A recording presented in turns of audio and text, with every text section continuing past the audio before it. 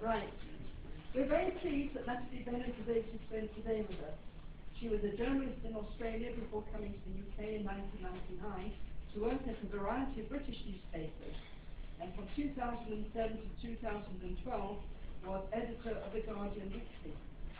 In 2006 she joined the Green Party, and in 2012 she was elected its leader. Natalie founded the Green Party Women's Group and is a trustee of the Fawcett Society. In March of this year, the Green Party Spring Conference reaffirmed the party's commitment to a citizen's income.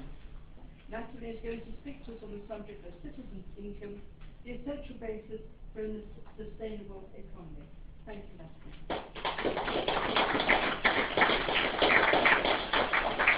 Thank you very much. I I'll stand over here um, because I haven't had a day off since the election, so I need a lesson to lean on. Apologies for that. Um, uh, I guess it's the, the place I have to start when I'm talking about the Green Party and citizens' income is actually with a person. Uh, it's Clive Lord who's sitting down in the second row there, and he is the man who's basically responsible for the fact that citizens' income has been green, a Green Party policy pretty well from the beginning. Uh, so he deserves a great deal of, of credit for that. Um, and I suppose I, I, want to address a point that's come up earlier this morning to start off with. I do actually prefer the term basic income because I think the, the citizens introduces some problematic elements. And I'd like to say that a basic income should be available to everyone who is we accept as a member of this society. And I think if we think about concrete examples, if someone arrives and claims asylum, they should get a citizen's income while their claim is being considered. And that would be a reasonable place to start and one of the very dishonourable things that we don't do properly at the moment. Um, I'm actually quite excited to be here today for lots of reasons, not just because we've got a whole day talking about citizens' income, but for the first time this week, I am spending two whole sessions giving two whole speeches on citizens' income. On Wednesday, I was in Manchester at a meeting of a group called Plan C, uh, which is a young group of mostly uh, young, uh, young academics, young postgraduate students who are looking for a Plan C. And the basic, the whole topic of that conversation that day was citizens or basic income. And I think that's the first time I've done two in a week, so I see that as one more step forward. Uh, and I think there has been a big step forward even in the 18 months since I was elected as Green Party leader. We really are seeing this as something that's coming on the agenda, as the earlier speakers have said. So I've got a real challenge for this whole room. You know, Guy said we, we've got three years to go. Well, let's say in three years' time, I'd love to be able to go in the kind of slot that I get when I occasionally get on the evening news, which is the 15 second soundbite. and I need to be able to go on the evening news with a 15 second soundbite and just say basic income and assume that most of the audience knows what I mean. And we're still a long way from that point now. You know, this room knows, you get a room, a room of people who are talking about social change, a good number of them will know. The general public, we have to acknowledge, has never heard of it. And that's the challenge we've got before us. And I think if we think about how we think about the citizens' income and how we start to explain it to the general public. What we've seen in, particularly in recent years, but a, a long-term gradual process, is the safety net, that welfare safety net, has been rent away. And what we can do by instituting a basic income or a citizen's income is put a cushion of security under everybody's life. You don't have to worry about having to face the horror of thinking I can't feed my children, I have to go and beg for charity or food banks. And I've spent a lot of time in recent months going around visiting food banks everywhere from Carlisle to the Isle of Wight. And I, for reasons you'll all understand, I was one in one in Newark last week. and people, you know, millions of people are living in fear of thinking, I am not going to be able to feed myself and my children. And citizens' income, basic income can take away that fear. And I think that's where we've got to really got to start in terms of selling. And the guy was talking about his Middlesbrough moment. Well, I've actually got a Norwich moment. Uh, and my Norwich moment goes back quite a few years now, actually, probably five or six years. And I was in a pretty poor housing estate in Norwich. And things were pretty tough. I think this was actually before the crash, but things were already pretty tough. And I was talking to this young 20-something young man on the doorstep. And I was there for the Norwich council election. And I had a nice list of things, you know, vote green so you can get a new pedestrian crossing on Brown Road, and, you know, worry about the dog shit in the park and all of that sort of stuff. uh, and this young man opened the door and said, oh, never vote.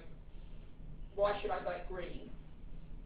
And I mentally ran down my list of pedestrian crossing, dog shit, and thought, this isn't going to happen.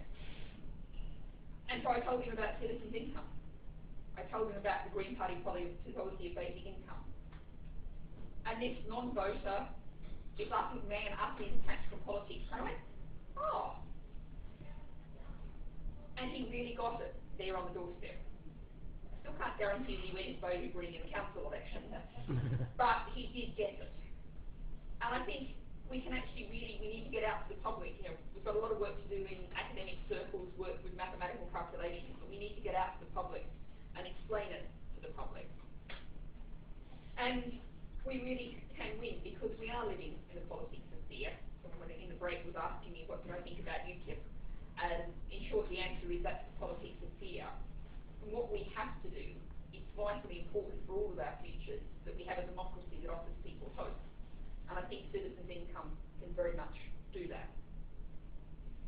You know, I think, however, we're going to be doing a lot of work sitting in a lot of rooms like this, talking about citizens' income, talking about the economics of citizens' income. And one of the real challenges we have is one of the things that causes absolute, causes conventional economists to tear their hair out, is it's very hard to model how people behave when you introduce the citizens' income.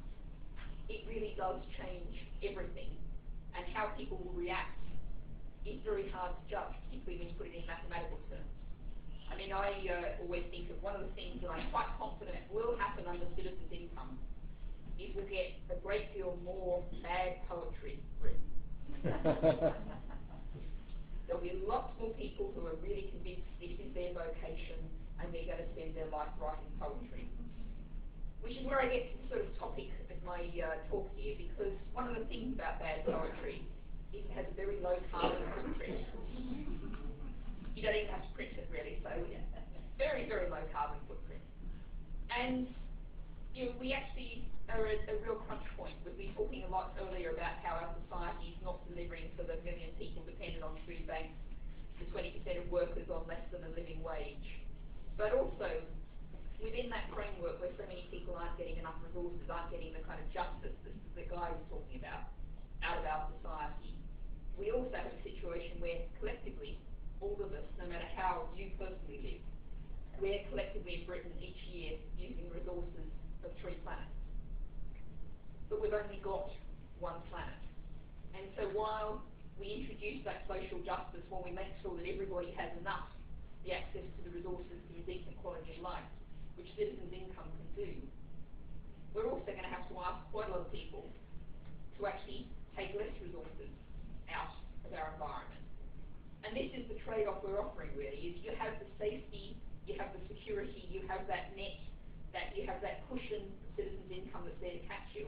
And you don't have to keep scrambling up the poles and keep buying the more expensive house and the more expensive car and the bigger this and the bigger that, because you don't have to worry about sliding down so far. And this, I think, is how sustainability and citizens' income fit together. You take away the feeling that you have to scramble, you have to go, go up the ladder. Now, ultimately, what we want to do, of course, is make the ladder much less steep.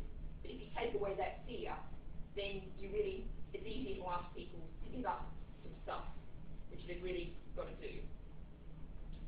Now, I think it's worth thinking about some of the potential other impacts too. And I think one of the things that, again, the economists get really horrified by is the suggestion that you might have to really change wage differentials if you have a citizen's income. It might be that you have to pay the sewer cleaners quite a lot of money. I got caught once in an audience when I said that, and someone said, my friend's a sewer cleaner and he loves his job. But I think we all know what I mean by saying pay the sewer cleaners.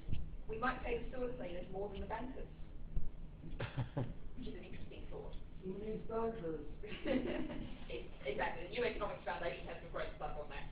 But you know, even more than that, if you start to think about how a citizen's income can change our society, what I always think of is those really horrible call centres. The kind of ones you read about, and I've had people in audiences later who come up to me and say, I've worked in one of those. The ones where every call has to be less than 54 seconds and they get timed every time they go to the loo. And you might find under a citizen's income it's impossible to get anyone to go and work in a place like that. I think that would be a really good thing.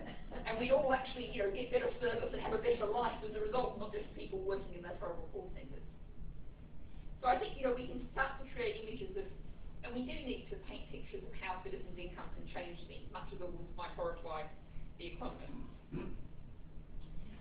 A few other points that I just wanted, wanted to throw into the mix. Guy talks a lot about justice, and I think that is a good way of talking about citizens' income. But I think one of the ways that I, I really haven't heard anyone talking about citizens' income, and I think we should explore more, is a human rights perspective on citizens' income. We think about, we kind of accept the right to food, to clothing, to basic shelter as being a human right, although we often talk about other kind of human rights more, but it is the most basic human right of all. And, you know, we didn't talk about that much in Britain until recent years because it was just taken as granted, taken as available to everyone. But it isn't anymore. And we can think of it, I think, do a lot of work talking about a citizen's income, a basic income, as a human right. It's your access to the basic resources that allow you to continue to live with decency and not have to rely on charity. And now there's another interesting thought, which is only a new thought to me that it came up in Manchester that I thought I'd mention here because it's, I think it's a new, new idea that I haven't heard discussed before. In Manchester, one of the speakers was saying that if you probably have people will be prepared to work less um, the citizen's income, and if you withdraw some of the labour from the market, you start to rebalance the balance of power between labour and capital. And I think there's some interesting thoughts to be thought there, particularly, John, you were talking about getting unions on board. And that's an interesting thing to talk about with the unions and think about with the unions about. But I think we do have to acknowledge that there are actually some risks with citizens' income as well, certainly as I see it from a political aspect. And I think one of the ways to think about that is to think about what we've actually seen happen with an inadequate minimum wage in Britain over recent years. What we've seen, what we saw under the, under the previous Labour government, was we saw a situation where minimum wage was low and kept getting lower gradually it did last year in the Labour government. And it was topped up by what I call corporate welfare, which was primarily housing benefits, family tax credits. And actually, if you think about it, you know, a basic requirement of any you know, any individual, any worker, is they have to continue to live. It kind of assumed that they're going to have a shower most days. It's assumed that they're not sleeping on the grate outside the shop. They've got somewhere to, to sleep. And we had companies, particularly big companies, employing workers on less than a living wage, and the state is topping up the difference. Right. And this is where I think you can actually see there's a risk, I think, with a very low citizen's income. You know, there are right-wing people who promote the citizen's income as a concept. And you can see a situation where a citizen's income could be a kind of corporate welfare that actually tops up low wages that allow people to continue to live while being exploited. And that's where, you know, the whole issue of what level you set citizens' income at is difficult. And I think it's something we've really got to explore a lot more and look at the potentially socially regressive impacts of it as well as the socially positive impacts of it.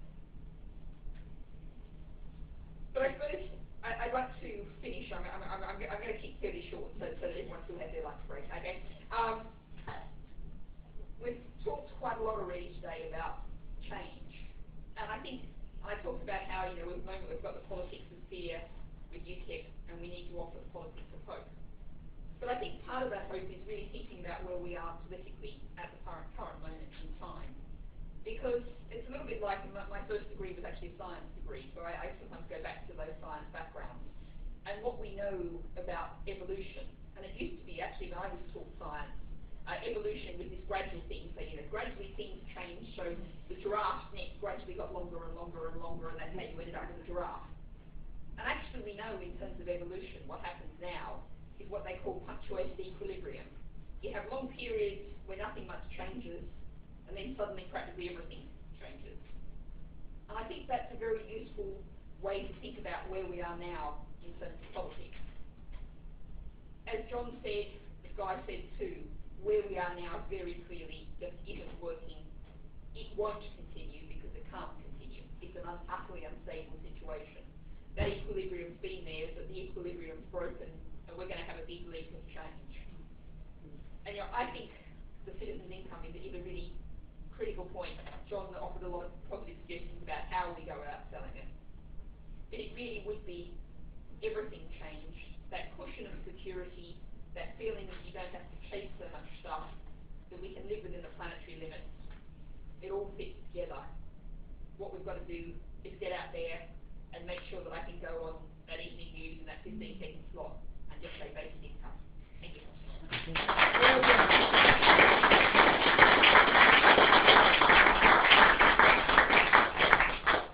Thank you very much, Natalie, for keeping within the time. Right now it's time to welcome Phil Fitzpatrick.